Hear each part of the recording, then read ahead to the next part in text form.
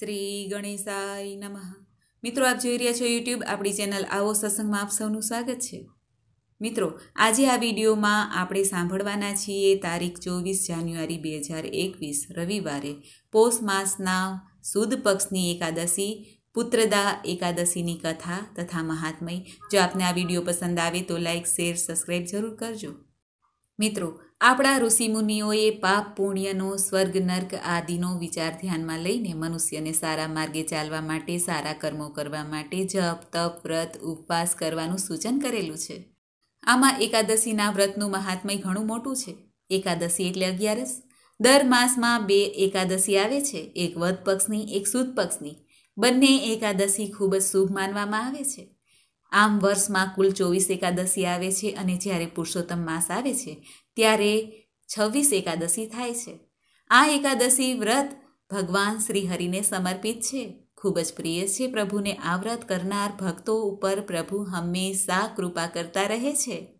એકાદશી વ્રતમાં આમ તો આખો દિવસ ઉપવાસ કરવાનો હોય છે, એટલે કે અન્ન અને જળનો ત્યાગ કરવાનો હોય છે.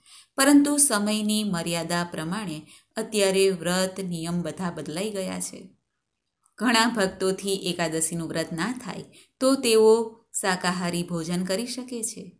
તામસી ભોજનનો ત્યાગ કરવો જોઈએ અને જે ભક્તો એક ટાઈમ ભોજન કરે છે, તેઓએ સાંજે એક ટાઈમ ભોજન કરી શકે, પરંતુ ભોજન કરતી વખતે રાંધેલા ભાતનો ત્યાગ કરવો જોઈએ, કારણ કે રાંધેલા ભાત આજના દિવસે જીવિત મનાય છે. અને જે ભક્તો ઉપવાસ કરે છે ઉપવાસ એટલે કે ફળાહાર કરે છે. તે ભક્તો ચા, દૂધ, જળ, ફળ, ફળાદી આદિ લઈ શકે છે અને જે ભક્તો નિરાહાર આ વ્રત કરે છે, નિરાહાર એટલે કે જળ પણ ન લેવું. તે ભક્તો હરિસ્મરણ કરતા રહે. આમ એકાદશીનું વ્રત કરાય છે અને એકાદશીના વ્રતનું ફળ પણ શુભ મનાય છે. મિત્રો, આ પોષ માસના સુદ પક્ષની એકાદશી પુત્રદા એકાદશીનું ઘણો મહિમા કહેવાયો છે શાસ્ત્રોમાં પણ. પુત્રદા એકાદશીનું વ્રત કરવાથી પિતૃઓને તૃપ્તિ પ્રાપ્ત થાય છે, મોક્ષની પ્રાપ્તિ થાય છે તથા સંતાન સંબંધી કોઈ સમસ્યા હોય તે દૂર થાય છે તથા સંતાનની કામનાવાળા ભક્તોને સંતાનની પ્રાપ્તિ થાય છે.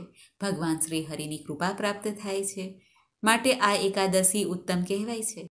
એકાદશીનું વ્રત કરનાર ભક્તોએ દસમની સાંજે જ હળવું ભોજન કરવું જોઈએ અને રાત્રે કોગળો કરીને, મોં સાફ કરીને ઊંઘવું જોઈએ.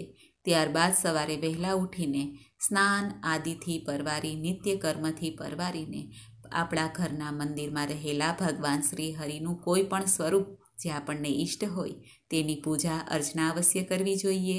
ચાહે ભગવાન શ્રી રામ હોય, ભગવાન શ્રી કૃષ્ણ હોય, ભગવાન સ્વામિનારાયણ હોય કે કોઈ પણ સ્વરૂપ ભગવાન શ્રી હરિનું હોય બાલકૃષ્ણ લાલજી હોય, તેનું ધૂપ, દીપ, નૈવેદ્ય આદિથી પૂજન કરવું જોઈએ. અને જો મૂર્તિ હોય, તો પંચામૃતથી સ્નાન કરાવવું, શુદ્ધ જળથી સ્નાન કરાવીને, ચોખ્ખું કરીને શૃંગાર આદિ વસ્ત્ર ધારણ કરવા જોઈએ. અને સિઝન પ્રમાણેના ફળ, ફળાદી નૈવેદ્ય ધરવા જોઈએ. તથા માખણ મિશ્રી ધરાય. ભગવાન ખૂબ પ્રસન્ન થાય છે. દરેક ભોગમાં એક એક તુલસી પત્ર અવશ્ય સમર્પિત કરવું ભગવાનના શ્રી ચરણોમાં પણ તુલસી દલ સમર્પવા જોઈએ. આ ઉપરાંત આ દિવસે જો યમનાષ્ટક આવડતા હોય, યમુનાજીની આરતી આવડતી હોય, તે અવશ્ય કરવી ઠાકોરજીની સામે. આમ પ્રભુ ખૂબ પ્રસન્ન થાય છે. આખો દિવસ કોઈની નિંદાકુથલી નહીં કરવાની. સાંજ પડે એટલે ફરી ભગવાનનું સ્મરણ કરવાનું, હરિકીર્તન કરવાનું અને જો બની શકે તો બાર વાગ્યા સુધી જાગરણ અવશ્ય કરવું જોઈએ. આમ કરવાથી એકાદશીનું પૂર્ણ ફળ પ્રાપ્ત થાય છે. ફરી બારસના દિવસે સવારે વહેલા ઉઠીને ફરી ઠાકોરજીની પૂર્ણ ભાવે ભક્તિ, પૂજન, અર્ચન કરવા જોઈએ. ત્યારબાદ ગાયને લીલું ઘાસ ખવડાવીએ અથવા ગાયને ઘરનું બનાવેલું ભોજન ખવડાવીએ. પશુ પક્ષીને જે પણ આપણાથી બને તે દાન કરીએ અને બ્રાહ્મણને કાચું સીધું આપીએ. દક્ષિણા સાથે. એટલે વ્રતનું સમાપન થાય છે, પારણા થાય છે. આમ આ એકાદશીનું વ્રત કહેવાયું છે. મિત્રો, તો આ હતું પુત્રદા એકાદશીનું મહાત્મય. હવે આપણે સાંભળીએ પુત્રદા એકાદશીની વ્રતકથા, જે આ દિવસે એકવાર તો અવશ્ય સાંભળવી જોઈએ. બોલો ભગવાન શ્રી હરિનારાયણની જય. એક વખત રાજા યુધિષ્ઠિરે ભગવાન શ્રી કૃષ્ણને કહ્યું, હે પ્રભુ, આપ મને પોષ માસના શુક્લ પક્ષની એકાદશીના મહાત્મય વિશે, કથા વિશે કંઈક જણાવો? એ દિવસે કયા દેવતાનું પૂજન થાય છે તથા તેની વિધિ કઈ છે?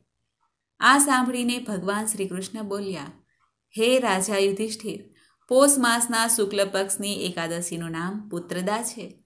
આ વ્રતમાં નારાયણ ભગવાનની પૂજા કરવી જોઈએ. આ વ્રતના પુણ્યથી મનુષ્ય તપસ્વી, વિદ્વાન અને ધનવાન થાય છે. આની એક કથા પણ છે, તે તમે સાંભળો. ભદ્રાવતી નગરીમાં સુકેતુમાન નામના એક રાજા રાજ્ય કરતા હતા. તે નિસંતાન હતા. તેની પત્નીનું નામ સેવ્યા હતું. તે સદૈવ પુત્રહીન હોવાથી ચિંતિત રહેતી હતી. તે પુત્રહીન રાજાના પિતૃઓ રડી રડીને પિંડ લેતા હતા કે આના પછી અમને પિંડ કોણ આપશે? આ રાજાને પણ બંધુ, બાંધવ, મંત્રી, મિત્ર, રાજ્ય, હાથી, ઘોડા આદિથી પણ સંતોષ થતો ન હતો. તેનું એકમાત્ર કારણ હતું પુત્રહીન હોવાનું. રાજા વિચાર કરતા કે મારા મર્યા પછી મને કોણ પિંડદાન આપશે? પુત્ર વગર, સંતાન વગર, પિતૃઓ અને દેવતાઓથી ઋણમુક્ત કેવી રીતે થઈ શકાશે? જે ઘરમાં સંતાન ન હોય, ત્યાં સદૈવ અંધકાર રહે છે. એક દિવસ રાજાએ પોતાના શરીરનો ત્યાગ કરવાનો વિચાર કર્યો. પરંતુ રાજાને વિચાર આવ્યો કે આપઘાત કરવો મહાપાપ છે. રાજા આ રીતે વિચાર કરીને એક દિવસ છુપાઈને વનમાં ચાલ્યા ગયા. રાજા ઘોડા પર સવાર થઈને વન પક્ષીઓ અને વૃક્ષોને જોવા લાગ્યા. તેણે વનમાં જોયું કે મૃગ, વાઘ સુઅર સિંહ, વાનર, સર્પ આદિ ભ્રમણ કરતા હતા. હાથી પોતાના બાળકો અને હાથણીઓની સાથે ફરતા હતા. રાજાએ વનમાં જોયું કે ક્યાંક શિયાળ કર્કશ શબ્દ કરતા હતા તો ક્યાંક મોર ધ્વનિ કરે છે. વનના દ્રશ્યોને જોઈને રાજાને વિચાર કરવામાં બપોર થઈ ગઈ. હવે રાજાને ભૂખ લાગી, તરસ લાગી. તે વિચાર કરવા લાગ્યા કે મેં અનેક યજ્ઞો કર્યા છે અને બ્રાહ્મણોને ભોજન પણ કરાવ્યા છે, દાન દક્ષિણા આપ્યા છે. છતાં પણ મને આ દુઃખ કેમ મળે છે? રાજા તરસના કારણે ખૂબ બેચેન થવા લાગ્યા અને પાણીની તલાશમાં આગળ વધ્યા. થોડા આગળ જવાથી એક સરોવર જોયું. તે સરોવરમાં કમળ ખીલેલા હતા.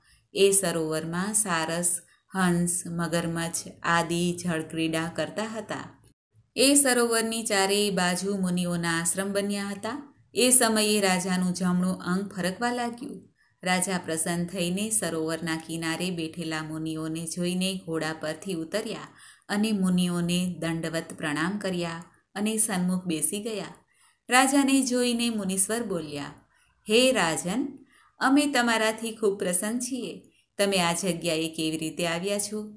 તે કહો. તેથી રાજાએ ઋષિઓને પૂછ્યું હે મુનીશ્વરો તમે કોણ છો અને અહીં શા માટે પધાર્યા છો?